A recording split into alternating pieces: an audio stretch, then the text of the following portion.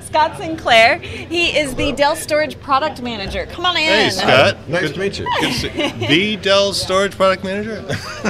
I think there's more than one of I us. was going to say. One of? Yeah. So which The product? best? The So- best. Storage. Well, yeah, so I'm the product manager for the FS7500. Ah, and yes. Which we just announced yesterday at the Dell Storage Forum, and we're all really excited about it. So So that talk a little bit about it. Okay, yeah, sure. It's uh, the FS7500 is really one of the first products. It's it's a NAS product, but it's more than that.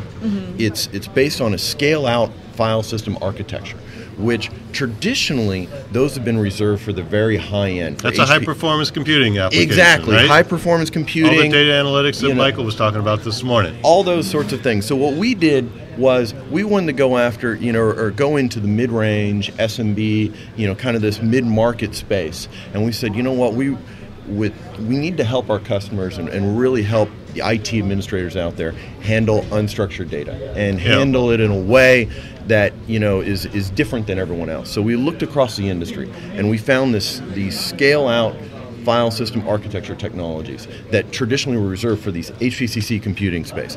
And what we did was we put our engineers on it, and with the help of the EqualLogic team, which is known for essentially being one of the easiest to use pro- storage products in the industry. And we took this technology and we made it very simple to use and made it in a, in a form factor and, and a deployment model that works for an SMB uh, uh, customer. It was So it's like an appliance today. I- exactly, exactly. On the network? It- It's an appliance that plugs into an EqualLogic group, Okay. and and it, He didn't bite on that. Yeah, I an mean, you could appliance on the network. appliance on the network. yeah, yeah. So many like sort of like a, a with net- that. sort of like a network. You know, appliance. It's it's been a long day, so I gotta. have- It's only Oh, 10:45. Wow, what the Yeah, heck did exactly.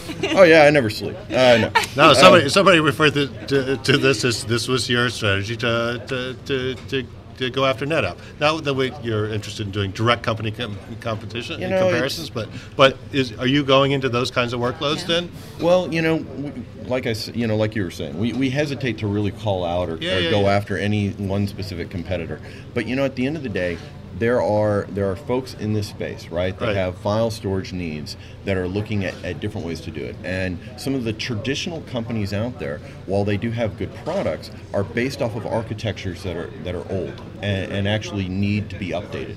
And for example, one of the examples of that is they may have um, essentially architectural limitations in how big they can scale a lot of customers that we speak with that have um, traditional NAS or unified products today run into a lot of challenges around how big a file share can be. Yeah. So essentially, with data growing out of control, folks are actually going in and saying, um, you know, I have IT guys that literally all they do is every week or every couple days, they got to go in, provision more storage, and create another file share.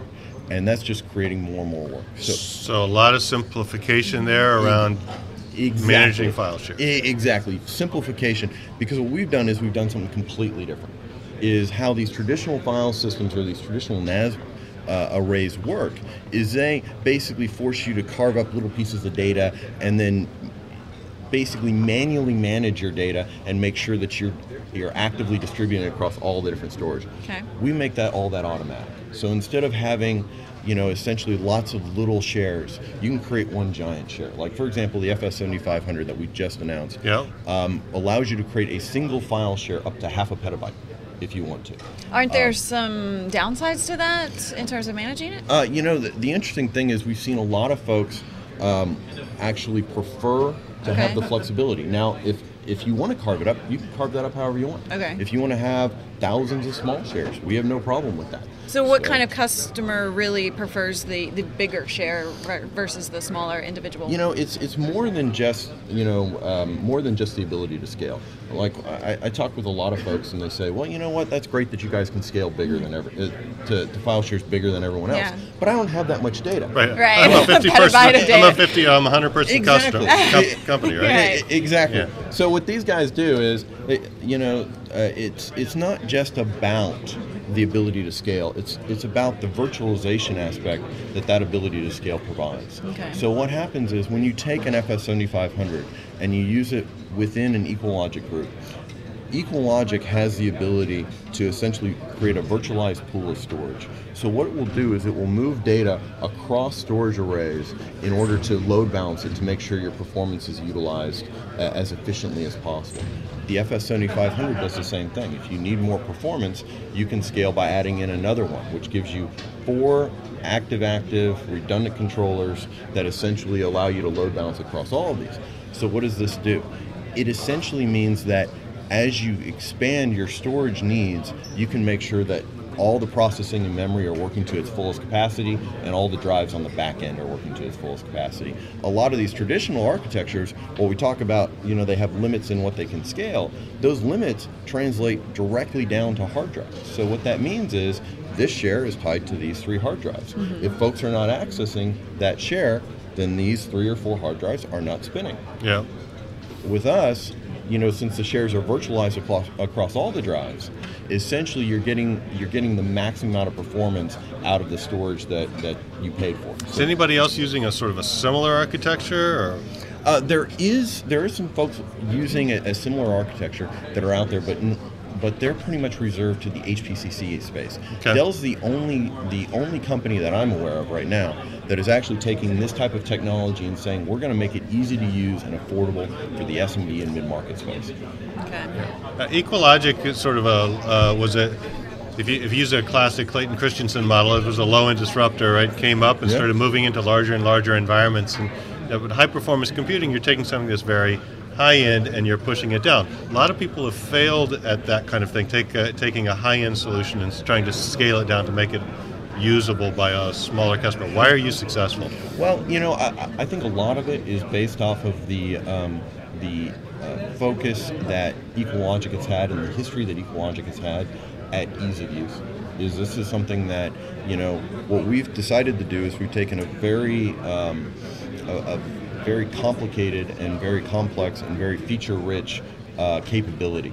And what we basically said is let's focus on the customers. Let's look at what their core needs are and let's drive ease of use as the top priority. So we've actually made, in, in the first release, we've made decisions where we put ease of use above capability on this. I mean, essentially, when you're trying to take something down to an SMB space, um, from you know that used to be up in the high end. Right. Of The biggest challenges that you have is high end systems have.